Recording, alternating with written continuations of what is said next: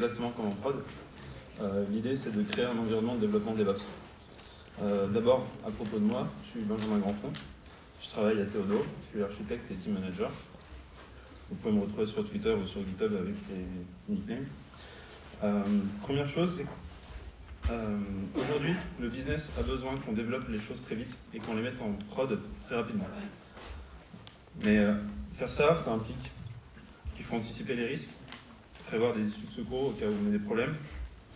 Mais l'avantage, c'est qu'on va augmenter très, euh, enfin, de manière très visible le revenu. Alors, je pense que vous vous êtes tous posé la question qu'est-ce que c'est -ce que DevOps? Euh, Quand on développe un projet, euh, en général, il y a deux types de personnes. Il y en a quatre.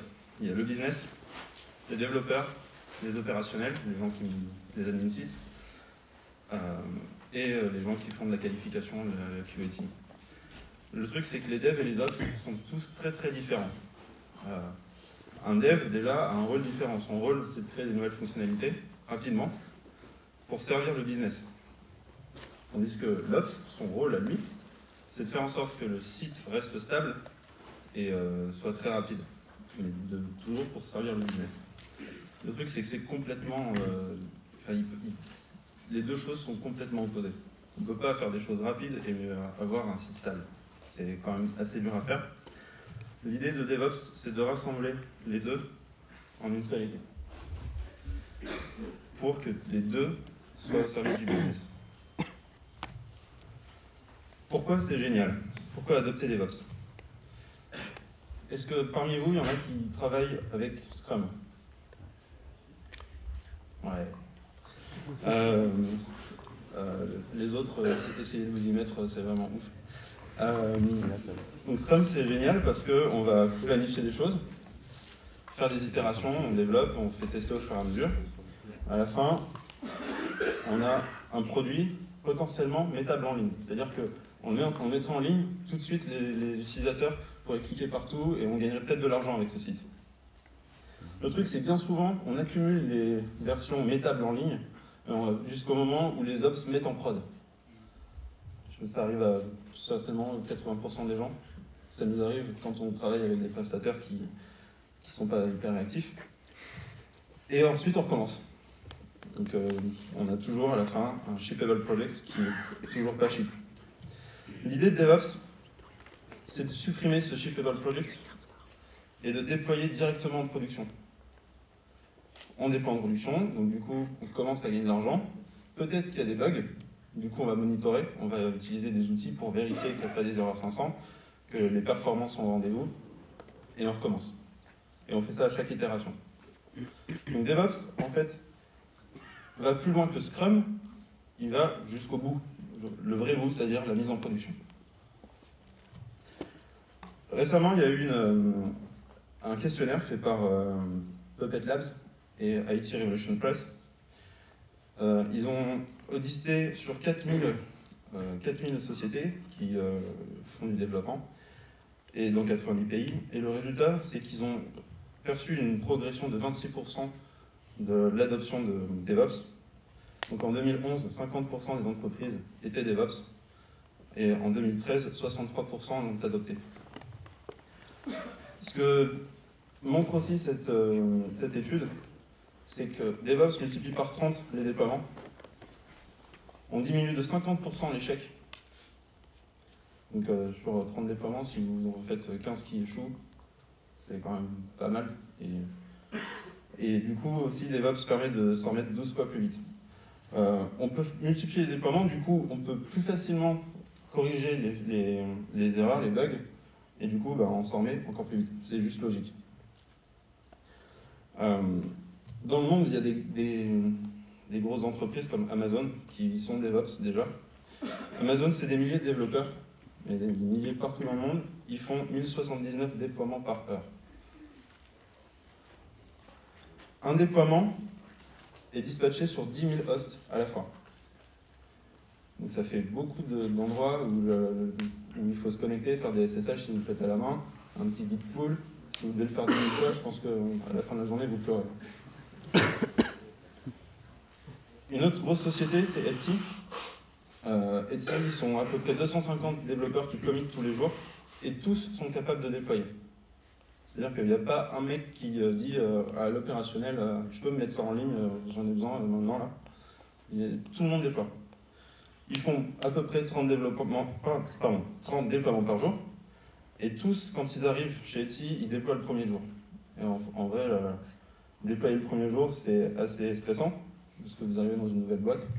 Je sais pas, euh, si vous arrivez euh, dans, votre société et qu'on vous dit euh, Ok, maintenant tu vas mettre ta photo en ligne, je pense que vous flippez de tout casser. Moi, en tout cas, j'aurais peur. Et chez nous, à Théodome, on est à, peu près 29. Aujourd'hui, on est 29 développeurs. On fait 9 projets en même temps, puisqu'on est une société de prestation de services. On fait 3 déploiements en par projet. Donc en tout, on est à peu près à 30 déploiements par jour. C'est pas mal quand même. L'idée de cette présentation, c'est d'essayer de vous aider à le faire chez vous en vous montrant comment nous on a fait. Euh, comment, réussir à mettre en place DevOps? D'abord, la première chose que vous devez faire, c'est automatiser, le déploiement. Beaucoup, on l'a tous fait, je pense. Il y a quelques années, on faisait du FTP. On n'avait pas euh, encore tous la, notion de ce que c'était qu'une euh, connexion SSH. Et par FTP, ben, on, double-cliquait, on faisait FileZilla, paf, on glissait déposait les fichiers, c'était long. Et euh, on en oubliait souvent. Euh, puis après, quand on s'est mis à utiliser des outils de versionning comme euh, Git, ben, en fait, on se connectait sur le serveur et on faisait un Git pull. Avec bien souvent, par exemple, nous, on faisait du Symfony, du Symfony 1, il fallait faire un clear cache, il fallait d'autres trucs, lancer les migrations, tout ça à la main. Si on avait trois serveurs, il fallait le faire sur les trois serveurs et assez rapidement pour être sûr que tous les serveurs étaient dispo. Donc c'était vraiment une action manuelle et longue et pénible et, l'erreur humaine était multipliée par autant de fois qu'il y avait de serveurs. Du coup, on a fait des scripts shell, on sait, qui se connectaient eux-mêmes, qui faisaient le git pull eux-mêmes, qui faisaient le clear cache eux-mêmes. Et euh, la vérité, c'est que ben, le shell à lire, ça pique un peu les yeux. Du coup, il y a des solutions qui existent qui sont vraiment bien. Il y en a une, c'est Capistrano. Si vous n'aimez pas le Ruby, désolé. Euh, mais Capistrano, l'avantage, c'est que c'est un fichier de conf. Et euh, a priori, ça marche quasiment tout seul. Euh, le truc, c'est que c'est hyper magique. et parfois très difficile à débugger. Les commandes que génère Capistrano sont parfois imbitables. L'autre alternative, c'est Fabric, c'est en Python, et là, pour le coup, c'est vraiment sur mesure, vous faites ce que vous voulez. Vous pouvez faire vraiment plein de choses et déployer sur plusieurs serveurs en même temps. Du coup, automatiser le déploiement, c'est rendre une opération complexe simple et qu'on puisse réexécuter souvent. Euh, c'est pouvoir se passer d'un opérationnel quand on a besoin de faire une mise en prod par exemple, il est 18h, le type est déjà parti, vous avez besoin de mettre en prod, c'est une mauvaise idée. Hein. Mais euh, vous pouvez le faire. Et accélérer les, mises en production, puisque vous pouvez l'adapter pour tous vos serveurs. Une fois que vous avez mis en prod, vous pouvez avoir des bugs. ça arrive, hein. on, fait, euh, on oublie une route, on oublie un point virgule, on n'avait rien qui nous l'a dit. Euh, du coup, mettre en place un outil de monitoring est hyper important. Le premier, qui aujourd'hui est assez simple à installer et marche plutôt bien, c'est New Relic. Euh, et l'autre, qui est plus orienté performance, s'appelle AppDynamics. Euh, L'idée, c'est vraiment de découvrir en temps réel, quasiment les. En temps réel plus quelques minutes, les, erreurs 500 qui seraient apparues juste après le déploiement. Et vous le savez, vous les voyez, vous pouvez les corriger, et comme vous avez automatisé le déploiement, ben, vous pouvez le comité, la, pusher tout de suite la correction, ce sera opératif tout de suite.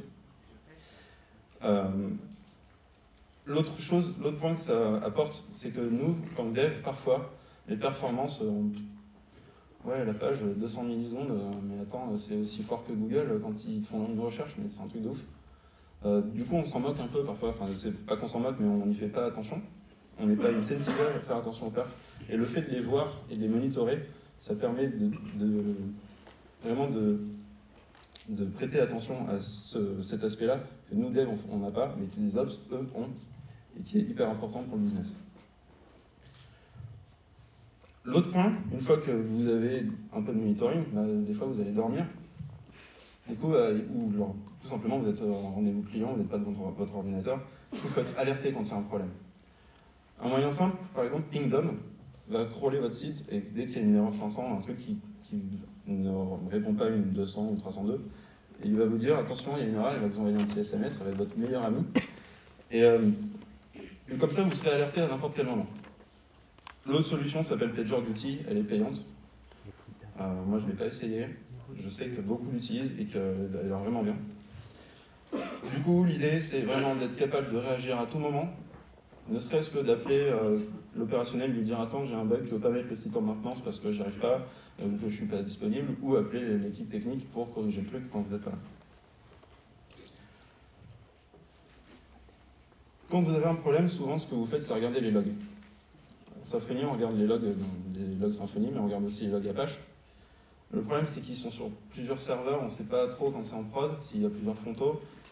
Il y a deux types de logs, des logs Apache, des logs Symfony. Du coup, on ne peut pas faire vraiment de recherche rapide. Avoir un endroit qui agrège les logs peut vous accélérer le temps de debug. Ça va beaucoup plus vite, c'est hyper simple, vous pouvez faire des recherches, il y a des champs de recherche super pratiques pour chercher ne serait-ce que le mot 500 ou quelque chose comme ça. Du coup, l'histoire agréger les logs, c'est vraiment l'histoire de faciliter les interventions des devs et des ops. J'imagine que tout le monde fait des tests, des tests unitaires, des tests fonctionnels. Vous avez raison. Euh, l'idée d'automatiser les tests, c'est de, détecter les bugs avant de déployer. Évidemment, vous n'allez pas déployer quelque chose sur lequel les tests ne passent pas. Euh, ne serait-ce que parce qu'il y a une virgule qui manque et que les tests ne passent pas. c'est une très mauvaise idée. Du coup, vous allez diminuer les risques de régression. Et l'autre avantage qu'on a inconsciemment, c'est qu'on prend confiance dans son code et qu'à chaque fois qu'on va avoir le test qui plante, on corrige, qui passe au vert, on déploie, et qu'on se rend compte qu'on n'a pas de problème, on va, prendre confiance quand on va faire un changement, et on va, avoir envie de faire de plus en plus de mise en prod. Un autre point qu'on a rencontré quand on, est une service de société, de, une société de service, pardon, euh, c'est que souvent il faut intégrer des nouveaux devs dans le projet. Et ça arrive par exemple chez n'importe qui quand on, recrute, il faut intégrer la personne, il faut lui installer euh, tout l'environnement web, lui installer le projet, lui mettre une base de données, c'est bon. Mais pour ça, on a une solution, ça s'appelle le README. Du coup, dans le README, on y met tout un tas de choses, la liste des dépendances, euh, comment on installe MySQL, Apache, tout ça. On a des, fois des points, des troubleshootings. Quand on a eu un problème, ben, on les a, ils sont listés. Ça, c'est génial parce que du coup, ben, a priori, ça accélère vraiment l'installation du projet. Et c'est pareil, quand on donne à un opérationnel, on lui dit tiens, t'as le README, t'as plus qu'à le lire et à faire ce qu'il y a écrit dedans. Et euh, ça marche. Sauf que c'est rarement le cas. Hmm. Et surtout, vous avez écrit plein de lignes de commande super, mais euh, si ça avait été exécuté automatiquement, ça aurait été beaucoup plus simple. Et euh, bien souvent, ben, c'est obsolète parce qu'on a installé Elasticsearch il y a deux semaines et on n'a pas pensé qu'il fallait mettre à jour le README. Et là, le mec, quand il met votre site en prod, il dit Attends, il manque un truc. Du coup, le README, c'est pas optimal. Donc, avec un ami, on a développé quelque chose qui s'appelle Simfi. Ça ne résout pas tous les problèmes, mais ça en résout un, que vous n'avez plus à configurer votre euh, virtual host.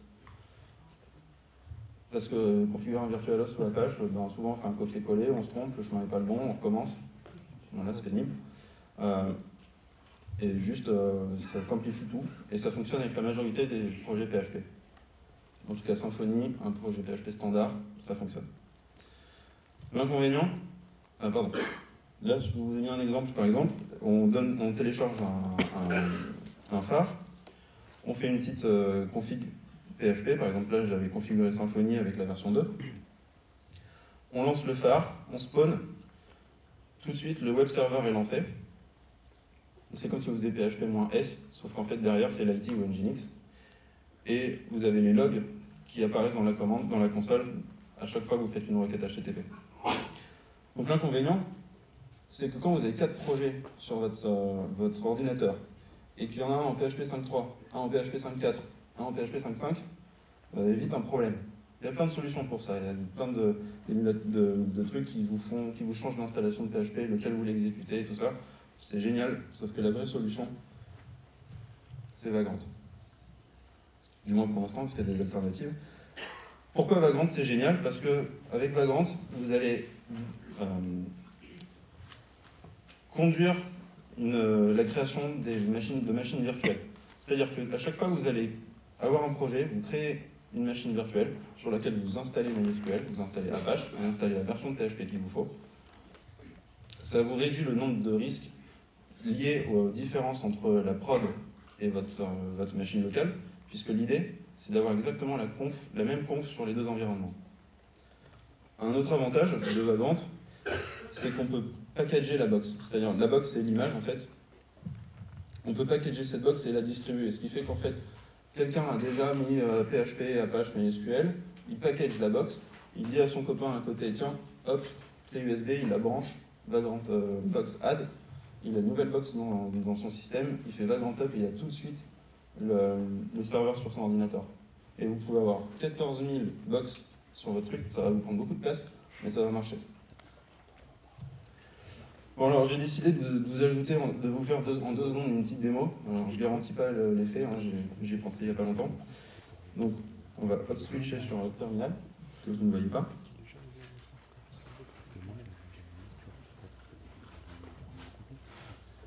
la première chose quand on utilise Vagrant,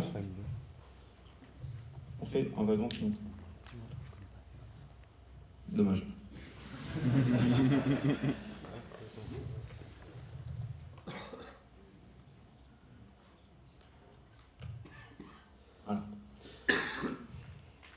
Ça m'a créé un fichier, un Vagrant file, qui va me permettre de configurer la machine virtuelle. Bon, je ne suis pas un, un V-user, donc euh, vous ne moquez pas. Euh, il y a plein de choses dedans, notamment le nom de la box qu'on veut utiliser. Donc je vais enlever au fur et à mesure ce dont on n'a pas besoin. Le nom de la box, c'est en fait le nom de l'image qu'on va utiliser. On peut mettre une image, Ubuntu, Debian, tout ce que vous voulez. Il y en a plein à télécharger. L'idée, c'est d'avoir la même image avec la même distribution que vous aurez sur votre serveur de prod. Si vous avez Ubuntu Precis 64, vous allez mettre Precis 64 ici et dire à Vagrant de télécharger la box quelque part. Et tout seul, il va aller la télécharger si vous ne l'avez pas en local, vous l'installez et vous la montez. l'autre truc qu'on fait, c'est évidemment configurer le réseau. Je vais y arriver. Alors moi, je prends des IP privés, après vous faites ce que vous voulez, je n'ai pas d'avis sur ça. Voilà, vous changez l'IP si vous avez envie.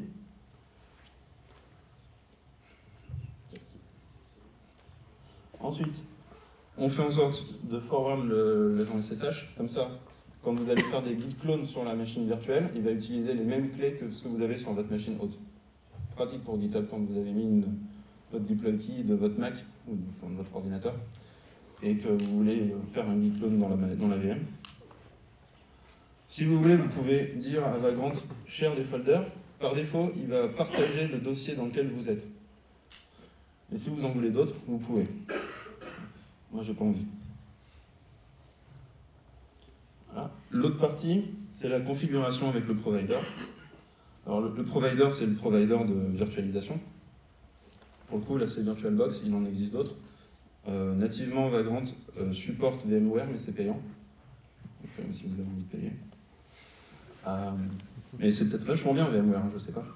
Euh, et on configure des, petites, des, variables du style euh, la, mémoire utilisée par la machine, on peut utiliser plein de trucs, le CPU, tout ça. Ça se configure facilement. Tout ça, on s'en fout pour le moment. Voilà. Voilà à quoi ça ressemble. Pour l'instant, il n'y a pas grand chose, vous allez me dire. Ok. Je sais pas où je suis. Une fois que vous avez fait ça, vous faites un up, et là, comme par magie, il va vous créer une machine virtuelle.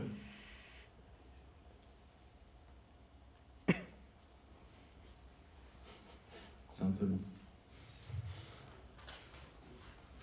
Hop, il fait plein de choses. Bon, alors ça peut rater parce que j'ai pas le réseau, enfin j'ai pas internet donc euh, je garantis rien. Ok, il boot, il boot, il boot. Donc c'est génial parce que hop. Voilà, j'en ai fait une ici. Donc là vous voyez mon dossier Toto, donc c'est dans lequel euh, on est dans l'autre onglet. Euh, il y a un vagrant file et il y a un fichier .vagrant, ce qui veut dire que j'ai déjà une vagrante initialisée. Donc je peux faire. Voilà, il y a une vagrante qui s'appelle default. On va changer le nom. Qui run, et si je veux faire, si je veux me connecter dessus, vagrant SSH. Et normalement ça marche.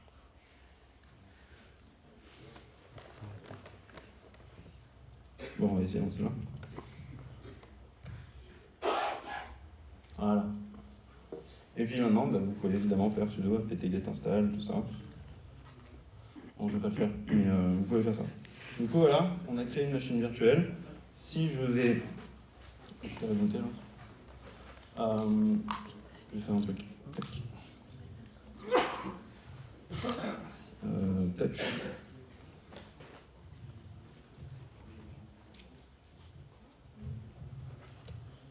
Ok, donc là, j'ai .vagrant hello.txt vagrant file. Si je vais dans cd vagrant, hop, j'ai mon hello.txt, mon vagrant file. Du coup, je peux éditer tous mes fichiers sur mon Mac, sur ma machine haute, et avoir accès dans la VM. Du coup, dans la VM, en fait, dedans vous aurez MySQL, Apache, tout ça, ils vont lire ces fichiers, et vous aurez zéro problème. Aucun conflit avec un autre projet possible.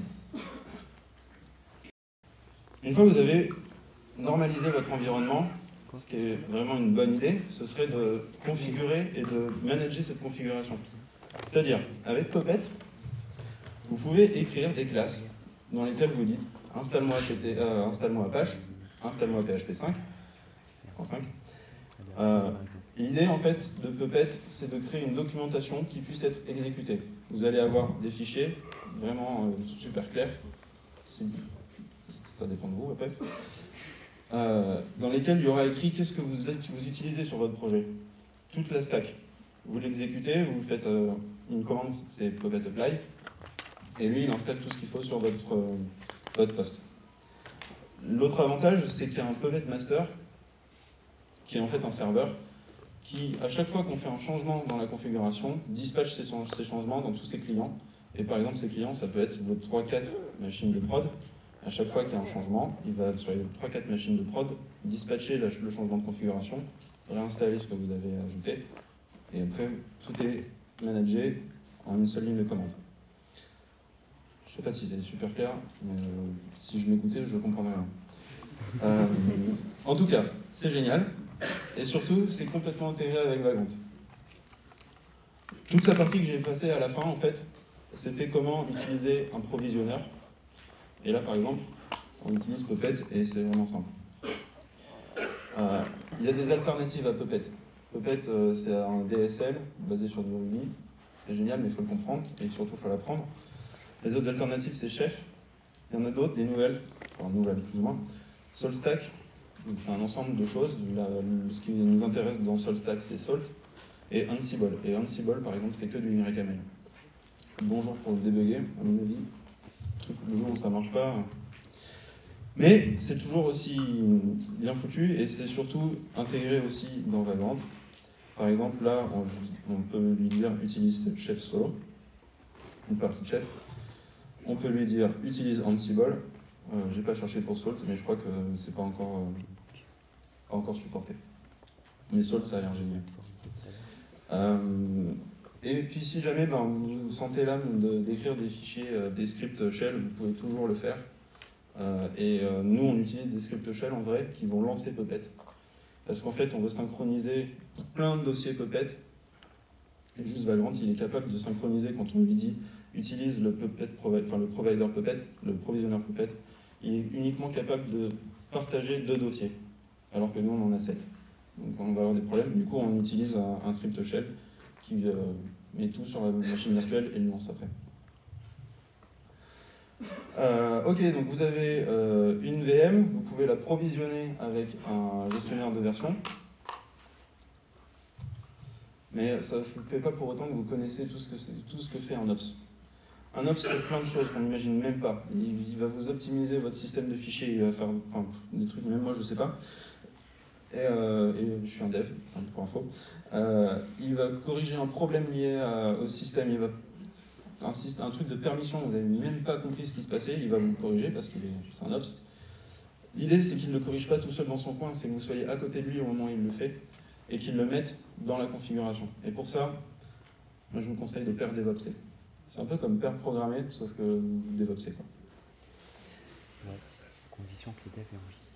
Je ne l'ai pas inventé, je l'ai repris. Euh, je bon. Euh,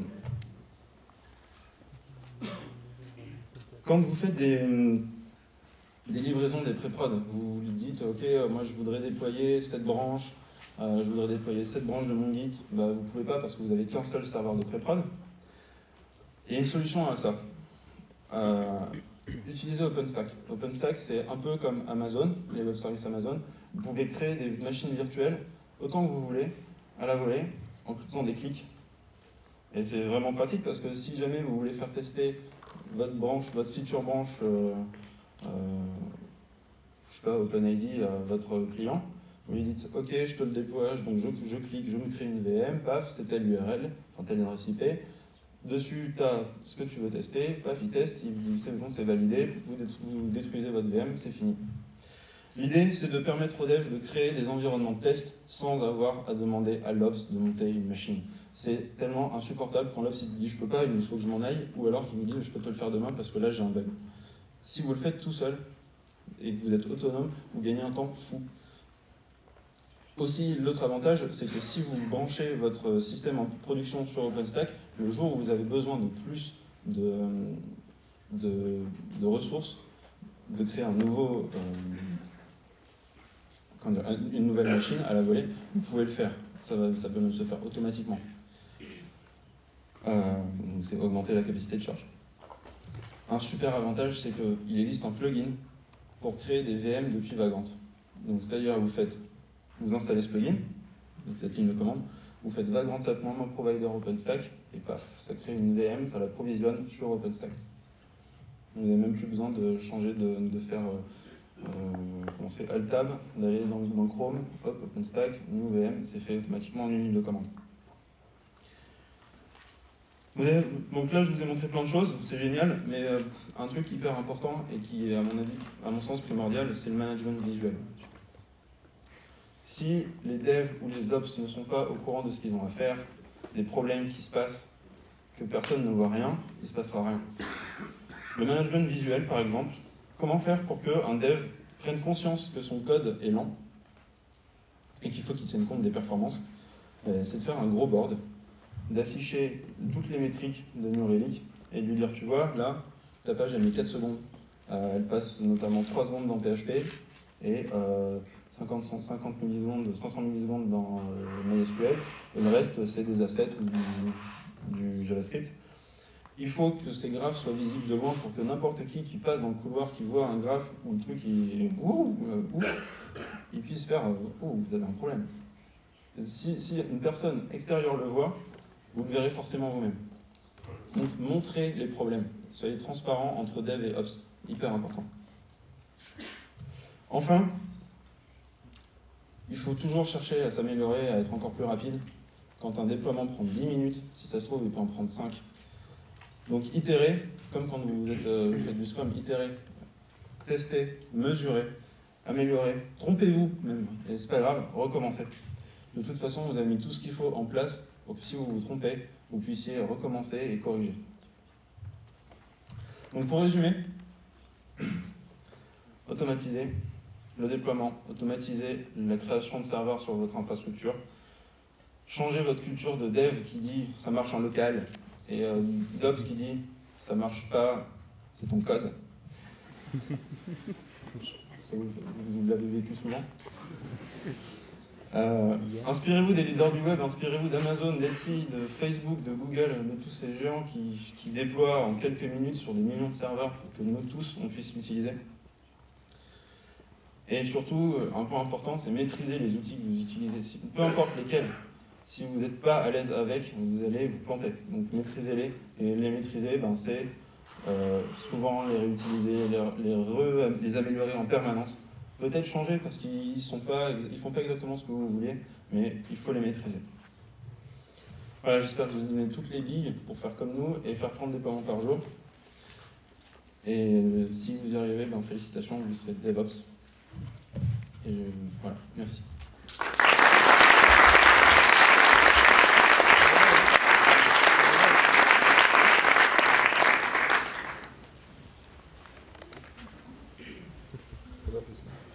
j'ai mis un QR code où en fait euh, les slides sont pas encore euh, tout à fait prêtes. Est-ce qu'il y a des questions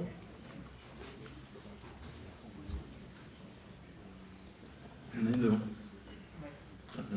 Merci. Euh, je me suis posé une question à propos d'OpenStack. Est-ce qu'on finit pas, à, force de créer des, serveurs, des serveurs, des serveurs, même s'ils sont supprimés relativement rapidement, il va forcément s'en oublier. Est-ce qu'on finit pas par avoir un cafarnaum de, des serveurs orphelins un peu partout euh, Ouais, c'est possible.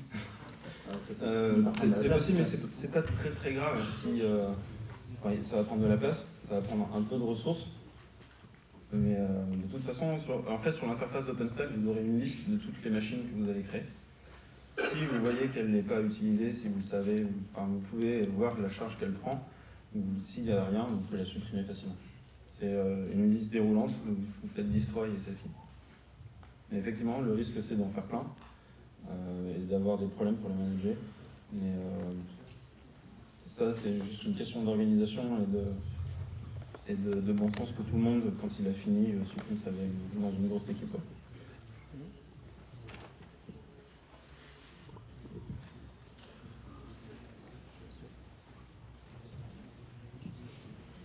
Tu n'as pas parlé dans Vagrant des problèmes de ralentissement qu'il y a avec VirtualBox qui sont, je crois, qu'on peut résoudre avec NFS, mais ne fait sur Windows.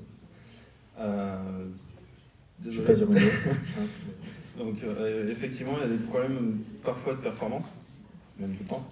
Euh, la solution pour Windows, je ne sais pas, je n'utilise jamais Windows, je suis désolé. Pas que j'aime pas ça, si, si on me forçait, je le ferais. Euh, mais euh, ouais, donc avec NFS, en fait, Vagrant a son propre protocole de partage de fichiers qui s'appelle VBoxFS, qui est très très lent, qui est même nul. Euh, si vous développez en Symfony, vos pages vont mettre 20 secondes à s'afficher, c'est juste horrible. du coup, ouais, avec NFS, tu accélères plein de choses.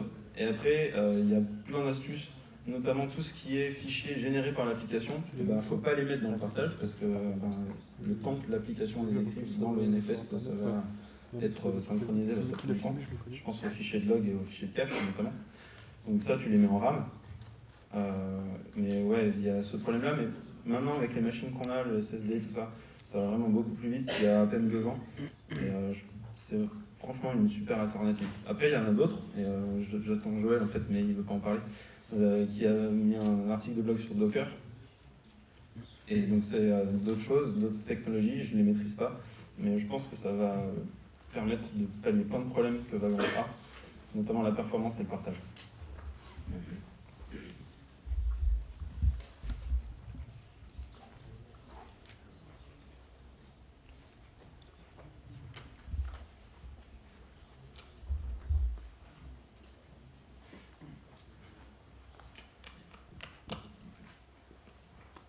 Bonjour, merci pour ta présentation, hein, c'était super intéressant.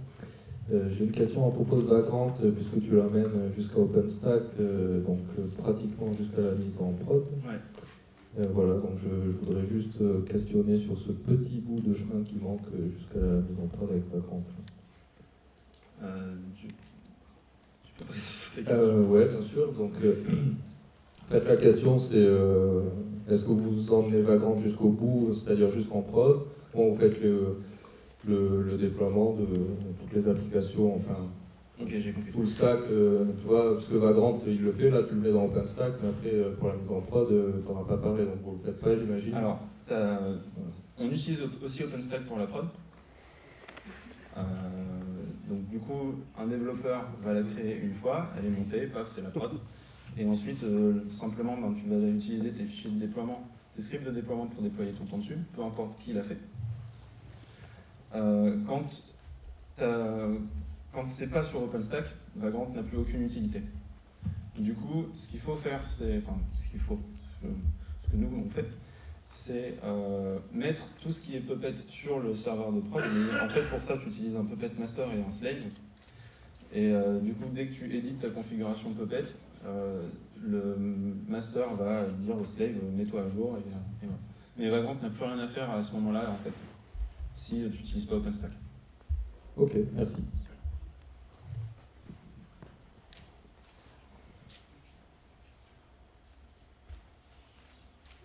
Bonjour, petite question, on a vu tout à l'heure dans notre conf notamment tout ce qui est problématique d'opérationnel. Mhm. Comment vous les gérez actuellement? Euh, J'ai pas vu de conf depuis ce matin, donc je sais pas de euh, En fait, c'est surtout la problématique, c'est qu'en développement, on surdimensionne pas les machines, on est surchargé en général les postes, mais en prod, on affine énormément les configurations pour améliorer la performance. Comment vous le faites ça du coup? Alors dans Puppet en fait on a euh, ce qu'on appelle des environnements nous. Et du coup, en fait, chaque environnement contient sa config euh, sur tout ce qui est justement euh, les petites métriques euh, qui diffèrent entre la prod et l'environnement dev. Ça joue notamment à, ce que tu dis, à la gestion des ressources. Mais du coup, en fait, on est aussi dans Puppet. Et si on veut le tester, eh ben, on lance Vagrant en lui disant utilise l'environnement prod et pas l'environnement dev. mais bien souvent, on essaye quand même de réduire cette différence au maximum pour éviter que euh, n'importe qui ait un problème pour ne serait-ce que euh, un, gigabit de, mémoire qui manquait.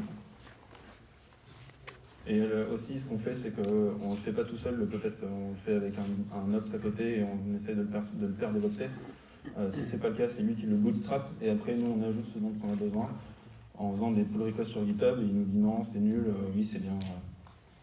Donc on est toujours en interaction avec l'ops pour ça. Merci. Dernière question. Bonjour.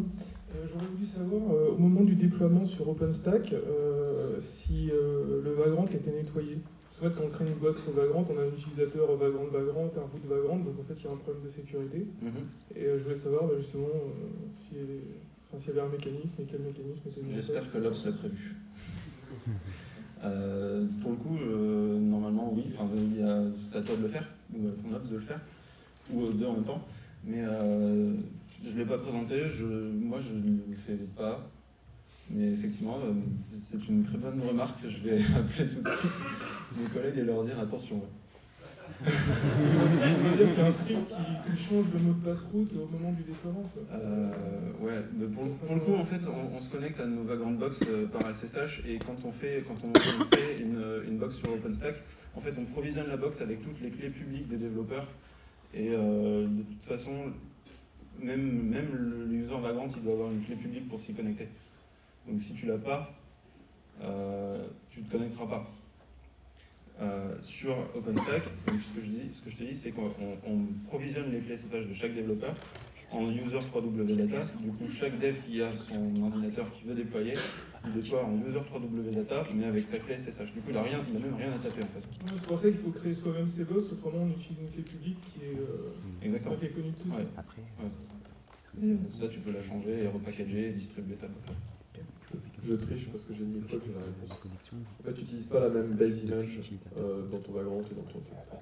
Donc, tu n'as pas ah le oui, puisque dans Vagrant, les, images sont par provider. Donc euh, tu vas falloir que tu te la fasses toi-même certainement parce que de toute façon il n'y en a pas et tu as tout intérêt à le faire. Pour les raisons que tu viens de dire. Ok, bah merci beaucoup. Merci à vous.